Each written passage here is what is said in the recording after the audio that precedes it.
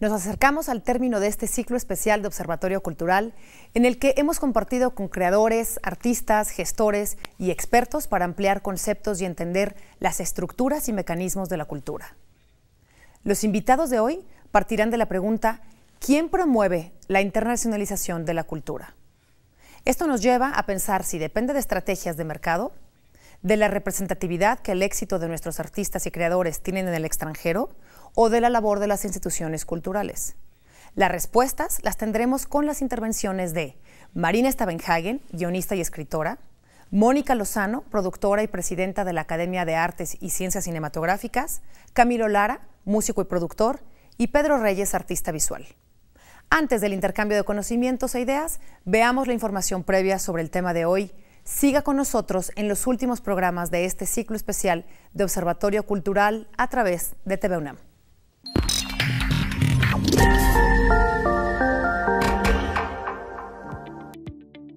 ¿Quién promueve la internacionalización de la cultura?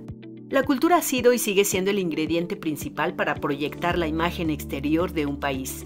La internacionalización de contenidos culturales de forma selectiva, acorde a la imagen que se quiere comunicar, es un elemento central de la acción exterior de los estados nacionales, señala el informe Internacionalización de la Cultura realizado por el Observatorio Vasco de Cultura.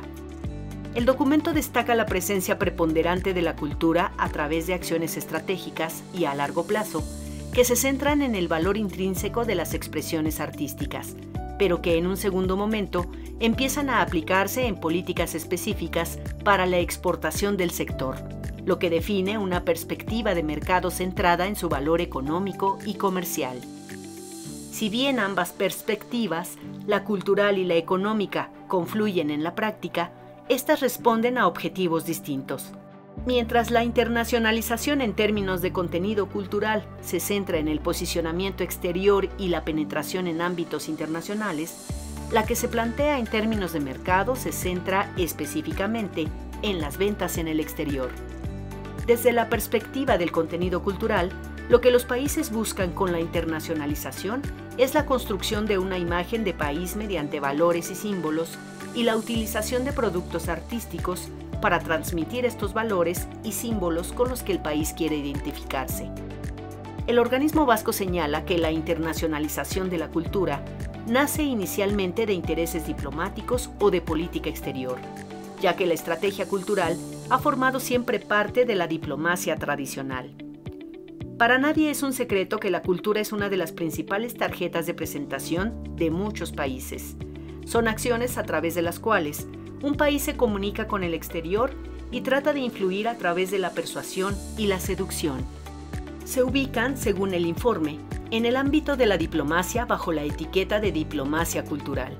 En estos orígenes, la difusión de una imagen de país da especial importancia a los contenidos porque son los medios para presentar una imagen concreta, crear confianza con ella, a fin de acortar distancias culturales, superando barreras lingüísticas y o simbólicas, y de esta forma generar condiciones óptimas para influir en el comportamiento y la opinión pública de las personas de otros países, o para penetrar en sus mercados de forma exitosa.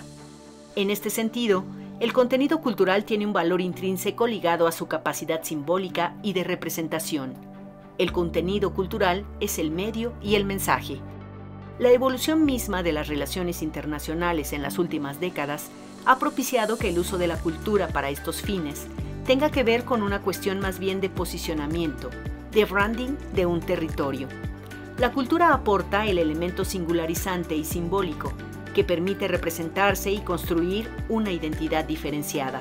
En el otro extremo, la internacionalización de la cultura desde una perspectiva de mercado parte de las conexiones que puede tener el sector con un amplio número de industrias conexas y funcionales, que han adquirido importancia desde una perspectiva económica. Desde este punto, de acuerdo con el informe Internacionalización de la Cultura, el objetivo no es crear una imagen exterior de país y el posicionamiento y prestigio internacional, sino exportar y comerciar en el exterior. Más que una selección de contenidos por su propio valor cultural, la estrategia pasa por contribuir al apoyo de empresas y profesionales del sector para favorecer el desarrollo económico del país, abriendo mercados en el exterior. Si esta es una dinámica global, en el caso de países con un mercado interior de pequeña dimensión, esta estrategia es obligada para ganar posicionamiento. De acuerdo con el Observatorio Vasco de Cultura, el crecimiento del sector cultural y creativo a través de las exportaciones, a través de la perspectiva de mercado, está adquiriendo una gran importancia en las estrategias de desarrollo económico. Específicamente, el sector cultural y creativo está adquiriendo notoriedad y centralidad mediante el fortalecimiento de las economías creativas. Los organismos públicos y los gobiernos adoptan en este contexto un rol activo para crear entornos favorables al desarrollo de la creatividad y el conocimiento, apoyando el surgimiento, consolidación e internacionalización de los agentes y sus productos para asegurar su impacto económico y social. Este potencial proviene del hecho de que la creatividad y el conocimiento son recursos ilimitados y una materia prima que no es necesaria importar, y en los impactos positivos que la innovación tiene para el desarrollo económico. En el caso de México, el organismo encargado de dar seguimiento a la internacionalización de la cultura ha sido el Consejo Nacional para la Cultura y las Artes, hoy Secretaría de Cultura Federal, a través de la Dirección General de Asuntos Internacionales. Adicionalmente, tanto el Instituto Nacional de Antropología e Historia como el Instituto Nacional de Bellas Artes tienen direcciones encargadas de asuntos internacionales, además de que la Secretaría de Relaciones Exteriores también cuenta con una unidad dedicada a la cultura. Referir la labor de seguimiento es importante, porque si bien hay algunos casos en los que los proyectos son diseñados por instancias mexicanas, en la mayoría son promovidos y financiados desde el extranjero, por lo que las instituciones nacionales solo acompañan o validan la realización de los mismos, sin influir directamente en sus contenidos o programas.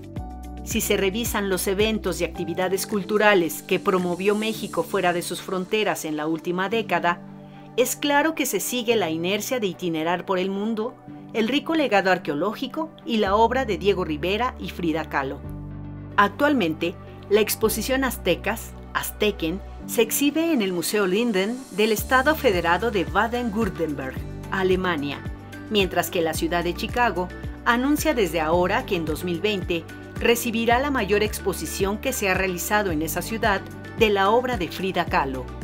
Este binomio se repite año con año de acuerdo con el registro de la propia Secretaría de Cultura Federal, pero lo que se modificó con la administración del presidente Andrés Manuel López Obrador fue la estructura del gobierno federal.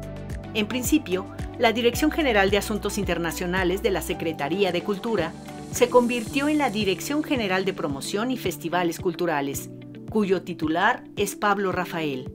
Al mismo tiempo que las Secretarías de Cultura y Relaciones Exteriores presentaron desde mayo pasado un Consejo de Diplomacia Cultural integrado por 20 personajes de la cultura, entre los que se encuentran la antropóloga Lourdes Arispe, la cineasta Patricia Arriaga, la dramaturga Sabina Berman, la extitular del Conaculta Sari Bermúdez, el diplomático Juan José Bremer, la chef Gabriela Cámara, la bailarina Elisa Carrillo, el cineasta Ernesto Contreras, la directora de orquesta Alondra de la Parra y el pintor Manuel Felgueres, entre otros. Hasta la fecha, no se ha difundido el programa de trabajo de este consejo ni los proyectos que promoverán. Lo único que se conoce, según informó a la revista Proceso el director ejecutivo de Diplomacia Cultural de la Secretaría de Relaciones Exteriores, Enrique Márquez, es que intentan traer una sede del Museo Pompidou a México. Pero más allá de los proyectos gubernamentales, la realidad es que los artistas con mayor proyección internacional en las últimas décadas lo han logrado a partir de esfuerzos individuales en los que poco o nada han intervenido las instituciones públicas de cultura. Los casos arquetípicos los dan justamente la presencia internacional que actualmente gozan los bailarines mexicanos Elisa Carrillo e Isaac Hernández, quienes no solo son solistas del Stuttgart Ballet de Alemania y del English National Ballet, respectivamente, sino que han logrado presentar espectáculos en México que han popularizado su disciplina dentro del gran público. Es ejemplar que tras su éxito, ambos ejecutantes han capitalizado su identidad mexicana como un elemento de exportación. Cuando salgo al escenario, quien baila es México, afirmó Carrillo previo a su presentación en julio pasado en el Auditorio Nacional. En los últimos años, el cine ha sido uno de los medios que mayor proyección ha dado a los creadores mexicanos, gracias a que directores como Alejandro González Iñárritu, Alfonso Cuarón y Guillermo del Toro han sido protagonistas de los premios Oscar en Estados Unidos.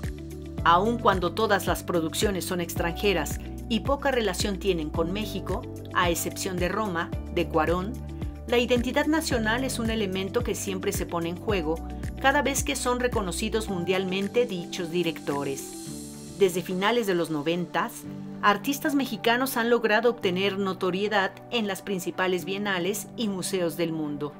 En las últimas dos décadas, artistas como Gabriel Orozco, Abraham Cruz Villegas, Pedro Reyes, Teresa Margolles, Carlos Amorales, Damián Ortega, Joshua Ocon, entre un largo etcétera, han tenido una presencia consistente y central dentro del campo artístico internacional, aunque de nueva cuenta, no necesariamente de la mano de instituciones culturales.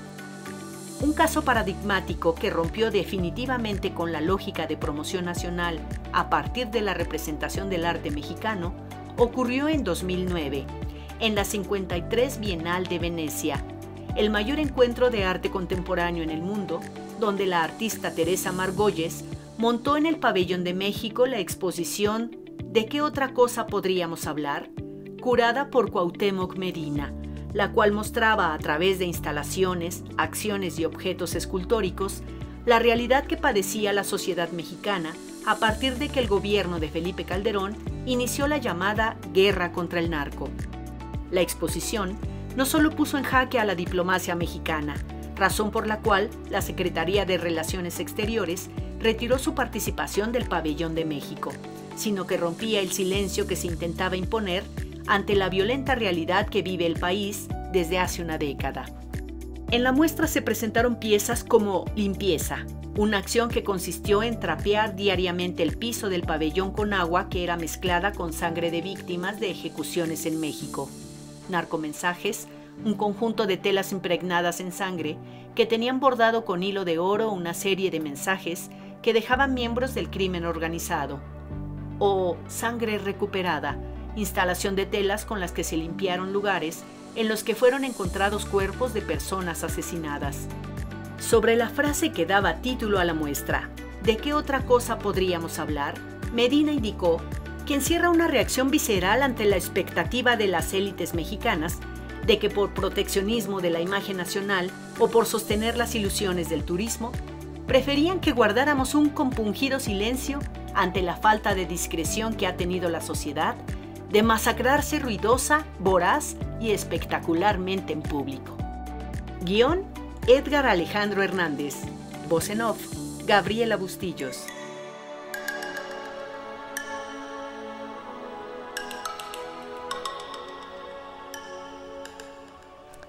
Buenas noches. La cultura como este conjunto de expresiones intelectuales, artísticas, espirituales, aquello que nos da identidad, aquello que nos representa hacia el exterior o que representa la identidad de un grupo social en un momento dado. Em, la cápsula ha planteado desde luego problemas y situaciones muy interesantes respecto a la cultura hoy en día, a su papel dentro del mundo globalizado, a su papel como representación de una identidad nacional, pero también a su papel importantísimo, creo yo, hoy en día como detonador del desarrollo en tanto que se refiere a las industrias culturales y a las economías creativas. Eh, yo creo que la cápsula ha planteado problemas y situaciones muy interesantes, eh, de los cuales todos conocemos un poquito aquí.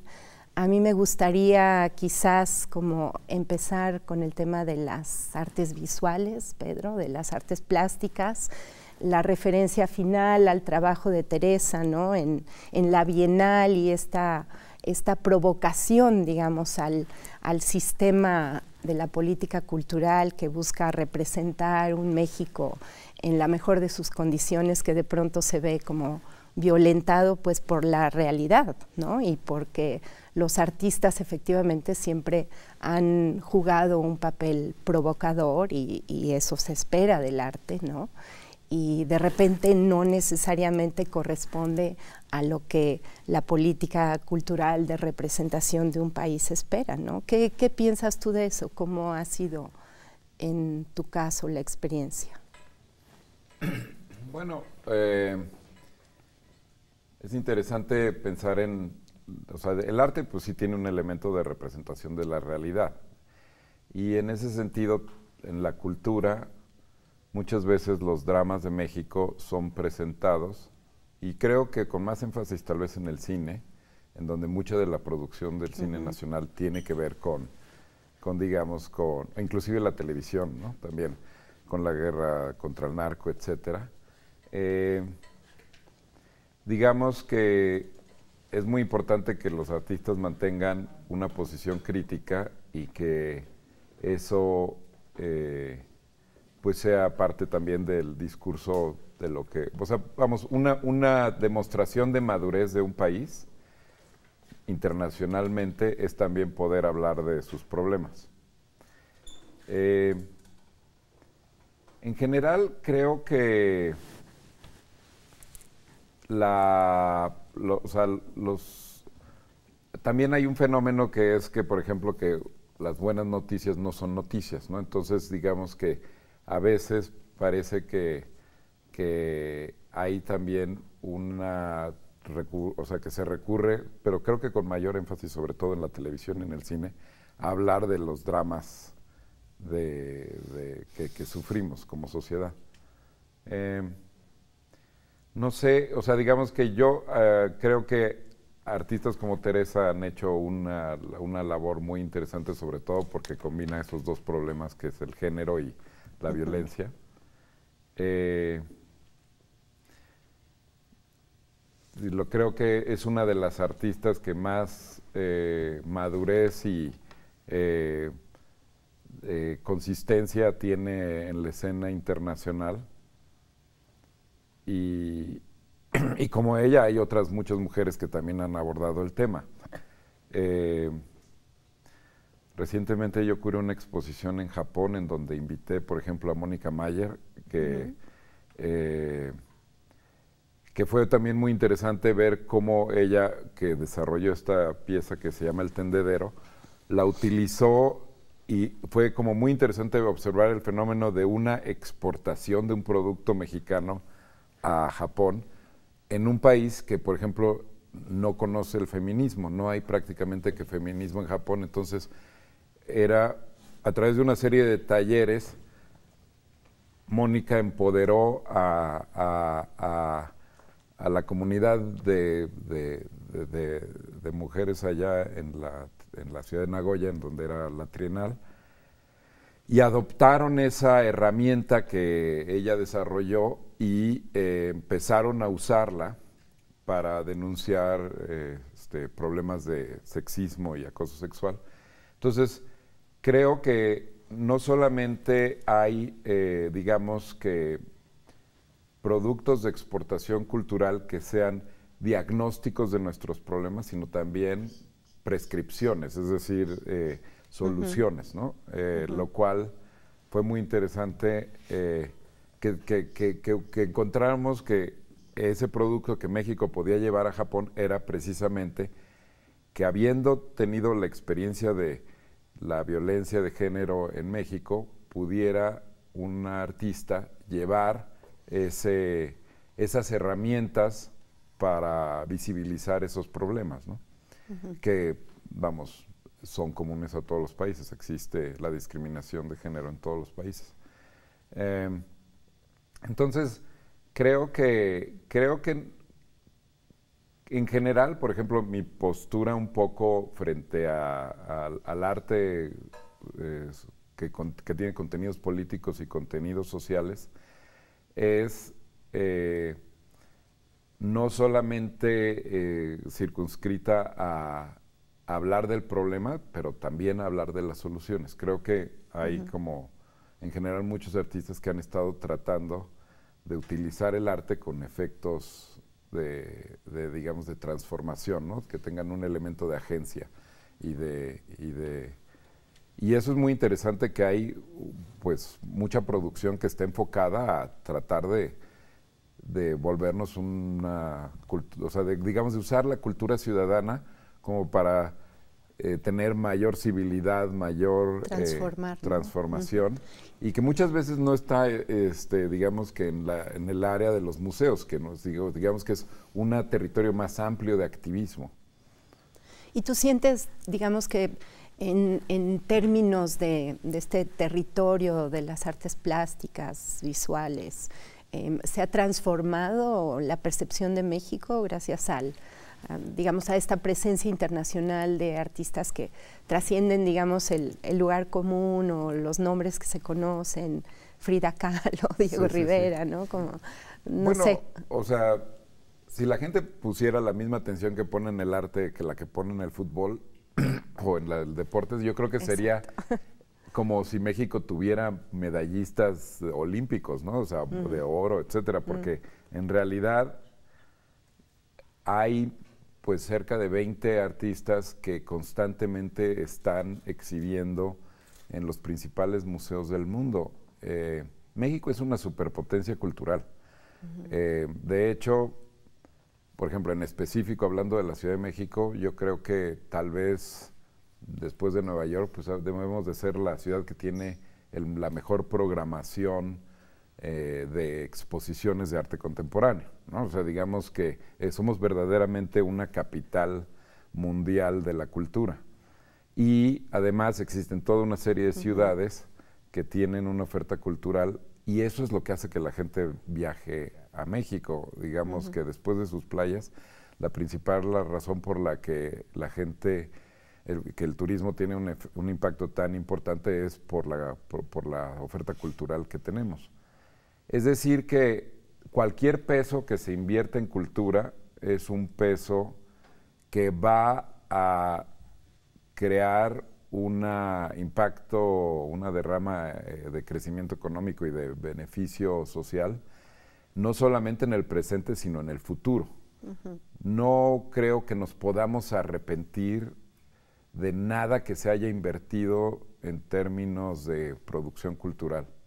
Eso es algo que es muy importante estar recordándolo porque eh, la, es finalmente lo que hace que ese peregrinaje de, que, ha, que, ha, hecho a, México un destino tan popular, eh, es, eh, digamos, el corazón de eso, ¿no? No solamente la gastronomía, sino la cultura. Pero sobre todo también la cultura contemporánea, es decir, pues está, hay una escena muy, muy vigorosa que se está transformando todo el tiempo. Eso es hacia el interior de México. Hacia el exterior, eh, pues estamos todo el tiempo exportando eh, arte. Eh, somos una muy, o sea, vamos, ha habido, obviamente que mis colegas acá podrán hablar en específico del cine, la, también de la música, etcétera, pero en términos de artes plásticas, pues realmente la, los, hay, hay, varias generaciones de artistas que constantemente están exhibiendo en las principales capitales. Pues quizás cierto, en términos de cine, ¿no? ya que tú lo mencionas, es verdad que el cine de pronto está moviéndose el cine mexicano en los últimos años en una arena internacional en donde hay grandes nombres en las grandes ligas, como decimos, ¿no? Y, estas imágenes de Alejandro González Iñárritu recibiendo su Oscar, pues sin duda son simbólicas para, para, la cultura mexicana, para el cine mexicano. ¿Tú qué piensas, Mónica, del, del, papel que ha jugado, digamos, la industria cinematográfica en ese sentido, que es una de las industrias creativas, pues, que, que efectivamente detonan empleo, detonan desarrollo, ¿no? Y su presencia internacional. Mira, eh, para mí, por supuesto, la cultura y las artes, especialmente el cine, es un vehículo que, nos permite decir quiénes somos, cómo pensamos, qué soñamos y evidentemente nos representa y es un tema fundamental. Sí creo, como decía Pedro, tenemos grandes medallistas olímpicos en el ámbito de las artes, este, que no importa en qué equipo, este, puede ser un equipo nacional o internacional, donde, donde compiten, pero sí hablan bien de México, ¿no? Y sí este, se ha destacado el trabajo de estos cineastas en el mundo, aun cuando, como dice la cápsula, no necesariamente son obras cinematográficas nacionales, pero sí habla del empuje, de la competencia, de la calidad del trabajo de los cineastas mexicanos. Este, por otro lado, sí creo que el cine es un vehículo que se ha destacado de comunicación, de identidad, y que debe debería desde el Estado generarse mejores condiciones y facilidades para que esta bien cultural, estos servicios culturales, estén bien arropados en el ámbito internacional, ¿no? Ahorita nos cuentas de eso. En el ámbito internacional, este, donde hay un sinfín de marcos, este, para promover la cultura y el mercado, ¿no? En muchos países del mundo y de repente vamos en condiciones muy limitadas cuando aquellos países donde la cultura y las artes es un tema estratégico, van con un cobijo mayor porque entienden que es su lengua, porque entienden que sus expresiones, que su cultura, que su folclore, que eh, sus problemáticas tienen que ir en un marco este, de cuidado, ¿no? Para promover esto de qué es ser mexicano y cómo nos da orgullo ser mexicanos en el mundo, ¿no? Ahorita nos terminas de contar, perdóname, pero tenemos que mandar a cortar. Ok.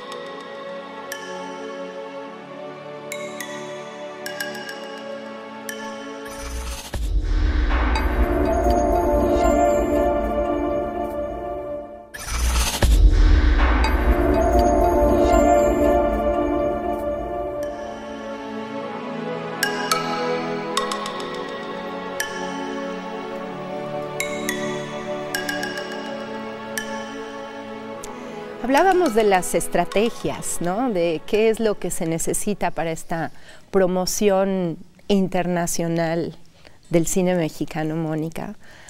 ¿Por qué no nos sigues platicando? Mira, México se ha distinguido por tener convenios de colaboración y cooperación internacional que quizá hay que voltear a ellos nuevamente para propiciar el intercambio y el entendimiento con todos los países ante la importancia este, que ha adquirido el cine y el audiovisual en el mundo, este, no cabe duda que hoy el mundo del cine y el mundo de las series de televisión nos permiten dar a conocer la realidad o son las ventanas para conocer eh, eh, este, lugares donde difícilmente vamos a acceder y que ahora podemos dialogar, conversar, este, qué nos ofrecen esos mundos diferentes. Entonces, el cine mexicano, el audiovisual mexicano, puede ser el mejor embajador de México al mundo para hablar de esto que somos, qué es lo que nos hace ser mexicanos, qué es lo que nos distingue, qué es lo que nos da identidad, qué es lo que nos da orgullo. Entonces, sí creo que el gobierno, eh, creo que el Estado mexicano le tiene que dar un énfasis mayor a la importancia que tiene en, en, el, en el mundo. Este, hay un sinfín de muestras, de festivales, de mercados, donde México acude cotidianamente sus artistas, sus cineastas, sus creadores, eh, sus escritores, directores, y sin embargo no hay como el cobijo y las condiciones de manera articulada como sucede en otros países del mundo, donde verdaderamente la presencia de cada país se cuida muchísimo porque es promover una lengua, promover una forma de pensar, hablar de una realidad. Sin duda a lo largo de la historia del siglo XX, este, México se dio a conocer por su cine, su literatura, su música, este, es lo que eh, permitió el intercambio eh, comercial, artístico, político, es donde se ha hecho una diplomacia y un entendimiento y comprensión en términos de los países, y es algo que no debemos de abandonar y que debemos, como decía Pedro, invertir muchísimo en ello, no, no dejar que sea algo eh, casuístico, sino que sea un, un, programa articulador donde participe este sector social y este sector creativo. ¿no? y estas industrias culturales, pero con una articulación del Estado para que tengamos una posibilidad de impacto mayor siendo de este nivel de importancia tenemos ¿no? nuestros caballitos de batalla, ¿no? estos nombres que circulan en los escaparates, las ferias, los festivales internacionales. Yo me pregunto si estos nombres efectivamente cumplen ese papel de representación, digamos, de la identidad nacional, pero si también ayudan a jalar, digamos, a los otros, las nuevas expresiones, los nuevos artistas, eh, digamos, a que, a que se hable o se exponga la diversidad cultural de esa potencia que es México en términos de, de sus expresiones artísticas y culturales. En términos de la música, ¿cómo sientes que funciona eso o cómo ha funcionado en tu experiencia, Camilo? Bueno, eh, igual que eh, lo que decía Mónica, lo que decía Pedro, eh, sí hay un, enorme, eh, bastante importante contingente de músicos que están viajando, que están presentándose fuera de México, que están haciendo cosas interesantísimas y que están cambiando un poco el mapa de la música a nivel internacional. sí creo que en el caso de la música, a diferencia del, arte y de, la plástica y del, cine, ha padecido mucho apoyo eh, eh, de forma eh, constante por parte del gobierno.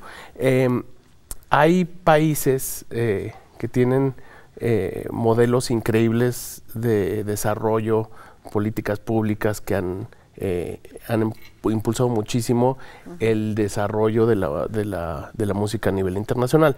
Eh, ejemplos, eh, pues Suecia, por ejemplo, ah, genera más dinero con exportando música que lo que se consume localmente. El mismo caso que Inglaterra. Eh, y hay otros países que eh, no tienen políticas tan agresivas, pero lo han hecho muy bien, eh, como el caso de Colombia, ¿no? que, en los últimos siete años se ha vuelto probablemente la potencia mundial de la música con artistas globales que impactan en todos los territorios, a pesar de estar cantando en español. Em, países como Canadá, que tienen un fuerte apoyo a la música nacional. En Canadá eh, me parece que el 40% de la música que suena en la radio debe de ser canadiense y tienen apoyos muy fuertes a compañías independientes y se va creando una industria. Eh, cosa que en México eh, yo creo que estamos todavía lejos de tener este tipo de apoyos. Muchos de los artistas que estamos viajando y que tenemos trabajo fuera de, de México, pues en cierta forma hemos sido autogestionados, ¿no? Por, porque la música viaja y porque eh, terminas encontrando tu público en distintos lugares a través del cine, de los videojuegos, del internet, eh, de muchas formas, ¿no? Eh, sí creo que, que, es, un, es una increíble oportunidad pensar en tener una, un plan a los siguientes 10, 15 años para consolidar una importantísima eh, pues forma de promover a un país, ¿no? Eh, creo que la música mexicana siempre ha sido históricamente punta de lanza de la cultura en Latinoamérica y, creo que ahora no, no, no lo hemos dejado de ser. Sin embargo, sí creo que eh, en cuestiones de, apoyos eh, políticos, no creo que estemos con, un, con, un, con un plan que sea tan progresista como el de otros lugares que lo están tomando muy en serio y que desarrollen cosas a nivel internacional. Otro caso es Francia, por ejemplo, eh, que tienen el Buró de la Exportación de la Música Francesa y a través de ese buró eh, artistas que eh, a pesar de cantar en francés, pues terminan impactando globalmente, ¿no? Y, y ves... Como, ¿Qué hace ese buró? ¿Cuál, ¿Cuál es como la estrategia? Pues hay, distintas estrategias, pero el buró lo que hace es encontrar eh, las conexiones que puede haber entre la música eh, francesa y lograr hacer un plan para apoyar los conciertos, los, eh, las colaboraciones y, poder tener impacto en otros territorios que no necesariamente serían los naturales, ¿no? de países que hablan el mismo idioma. entonces es interesante que creo que con una estrategia correcta de de Estado, creo que finalmente este, esto que al final es bastante autogestionado a través de, compañías privadas, podría tener un impacto aún mayor.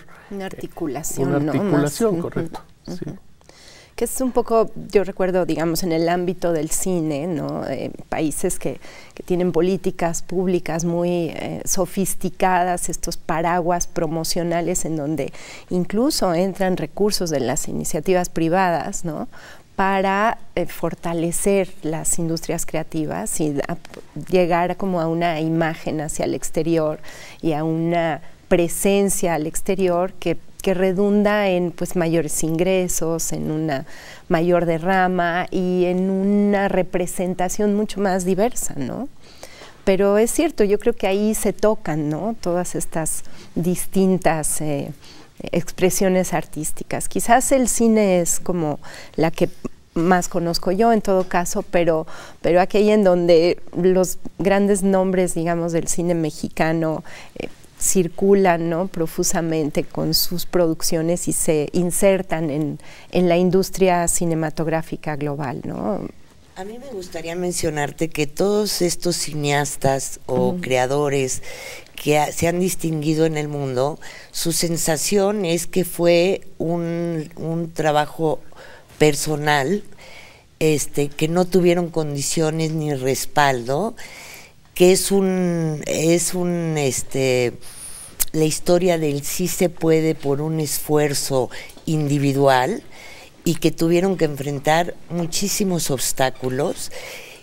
Y de ahí que también hay muchísimas reservas para cuando el país o el Estado o el gobierno los invita a ser parte de esa de esa eh, este de ese embajador al mundo de lo que representamos como México. Eso lo tenemos que cambiar, porque además muchas de estas personas se van de México por un sentimiento de falta de oportunidades y de condiciones, ¿no? Entonces, eso es un tema muy delicado.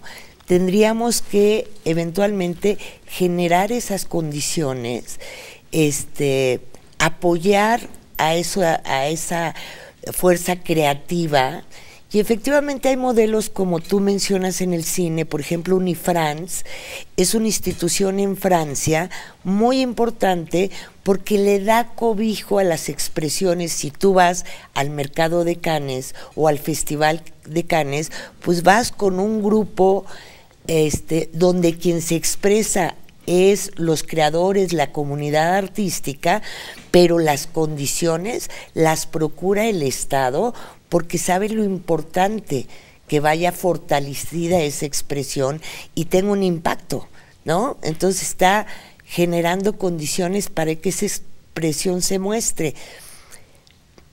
Aquí a veces nos ve, aunque sí en el cine somos privilegiadísimos y somos los que tenemos ese mayor espacio, creo que falta esa articulación y esa comunicación y vinculación con todas las instituciones, si no parecieran acciones aisladas que no tienen repercusión. De acuerdo.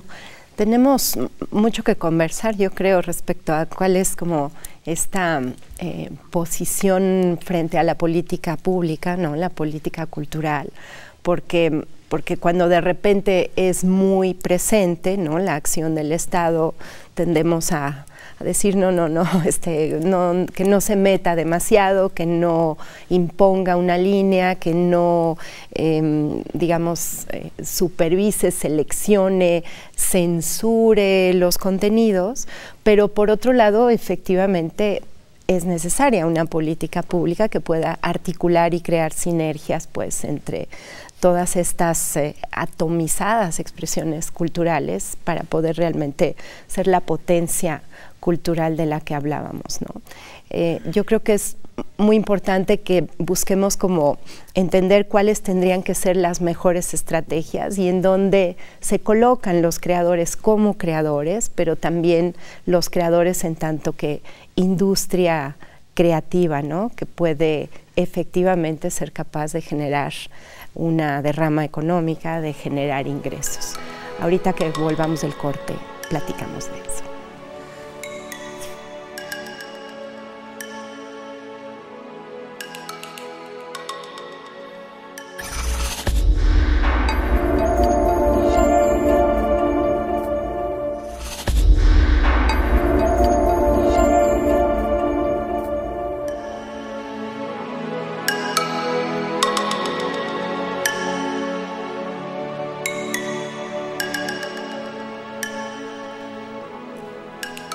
Que es interesante la reflexión en torno a lo que ha sido la política cultural, la política del Estado para el apoyo a la internacionalización de la cultura, ¿no? que es un concepto esquivo, pero eh, importante.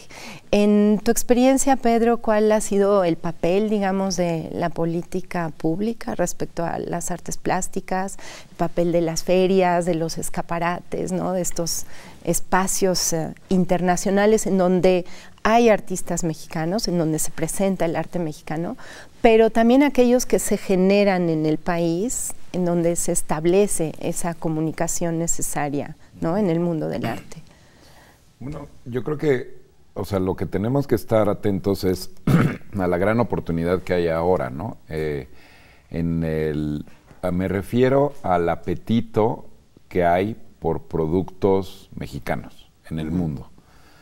Y pensándolo de entrada en relación a Estados Unidos, que es como nuestro principal mercado por la proximidad y tamaño de, país que son, eh, coincide también con una fatiga de las narrativas de su propio país. Es decir, durante los 80s y 90s, etcétera, estuvimos nosotros, los mexicanos, importando mucha cultura de Estados Unidos, pero a ellos mismos también se les ha venido un poco agotando.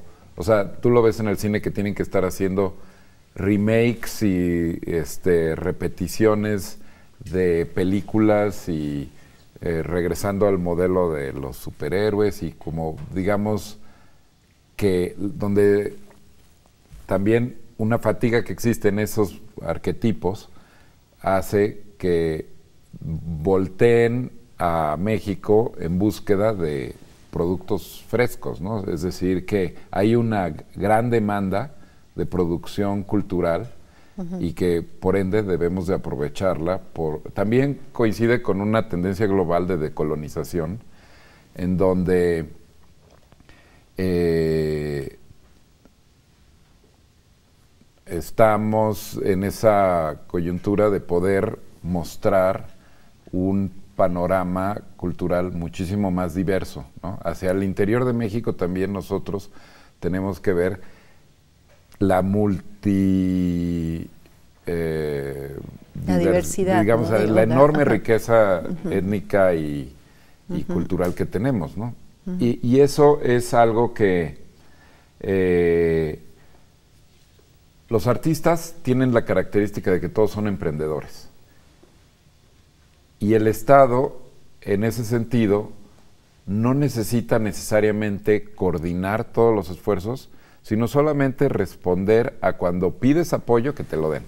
La Secretaría de Relaciones Exteriores, la Secretaría de Cultura, digamos que son instituciones que no necesariamente tienen que fomentar o que promover que, esas, que, los artistas sean emprendedores porque ya lo son, sino que en el momento en el cual les pides un boleto de avión o, o apoyo para mandar el transporte de una obra, existan esos apoyos. Es decir, un poco es eh, continuidad en cuanto al funcionamiento que ha tenido eh, el aparato cultural. Hay muchísimos beneficios en México para los artistas que no existen en otros países. Eh, hubo toda una polémica en el, sobre, por ejemplo, sobre si iban a estar o no las becas del FONCA y al final se extendieron los apoyos de, las becas del FONCA.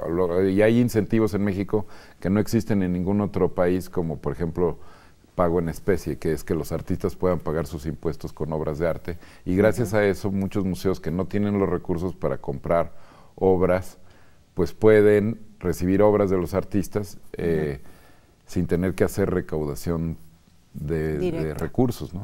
Entonces, yo creo que en México eh, sí hay políticas que no son nuevas, que existen, que, llevan muchas décadas funcionando eh, y que deben de conservarse, ¿no? Eh, para, porque finalmente tenemos ese músculo muy importante de, la iniciativa propia de los de, digamos, de los creadores, de los artistas. Yo creo que todo artista en México tiene además una especie de iniciativa de responsabilidad social, ¿no? O sea, creo que además de, de, ocuparnos por nuestra producción artística, la, comunidad cultural siempre está muy involucrada en eh, los problemas de, del país, ¿no? Eh, y es muy vocal en esos aspectos. Entonces, eh, creo que también está el tema, por ejemplo, de, de, si el arte es nacional o no es nacional, que en el caso en el cual te, te, tiene que tienes que participar en una escena internacional, es cuando se plantea la pregunta ¿qué es lo mexicano? ¿no?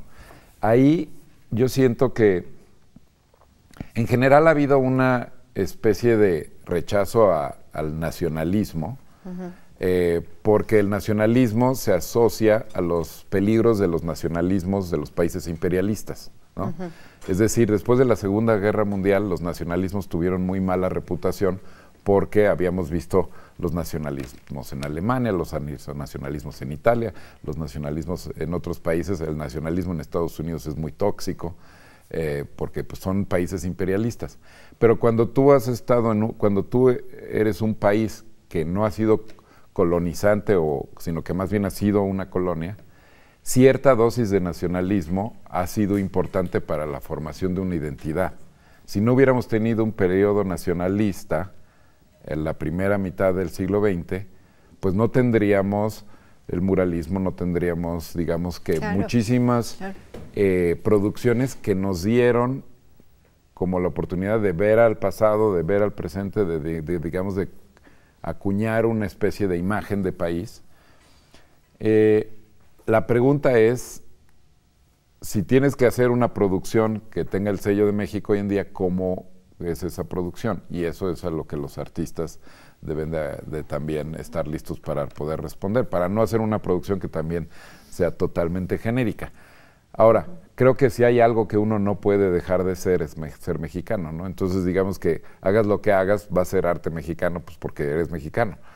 Eh, eh, pero sí hay una, sí, sí creo que, que parecería que ahorita el debate es un poco de, bueno, es que o somos México, los la cultura en México siempre va a estar un poco como en esa especie de crisis de no nos hagamos muy internacionales porque entonces vamos a perder nuestra identidad, ni no nos hagamos muy este, eh, nacionalistas porque entonces vamos a hacer una especie de dogma eh, folclorista. ¿no?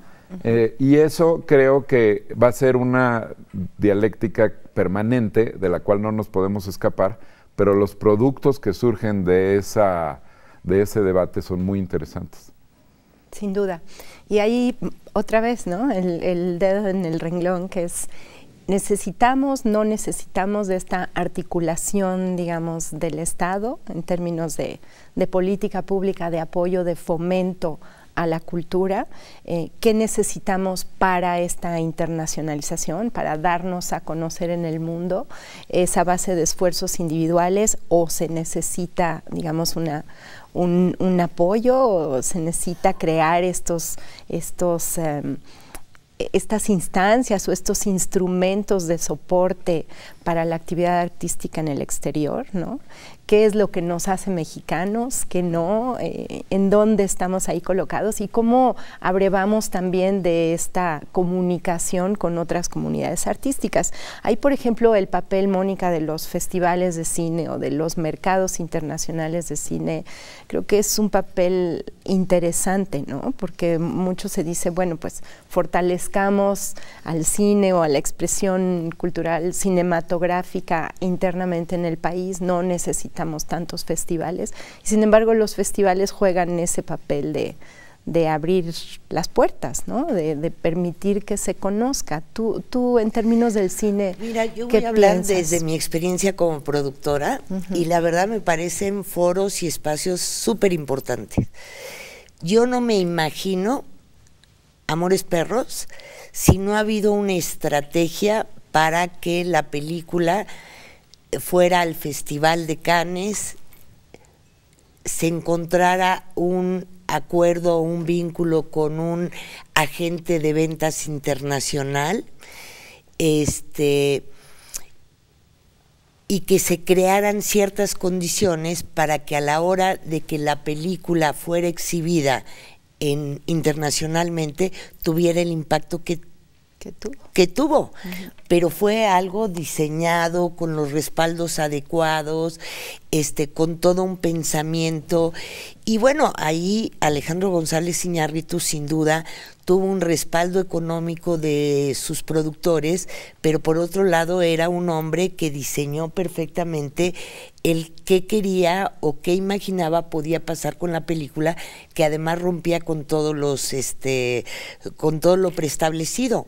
O no me imagino en México este, todos los cineastas que han podido acudir cuando era muestra de Guadalajara o hoy Festival Internacional de Guadalajara o de Morelia, donde vienen agentes de ventas, donde vienen directores de festivales y mercados en el mundo, donde presentas tu contenido y donde inmediatamente lo identifican y lo invitan a participar en el mundo.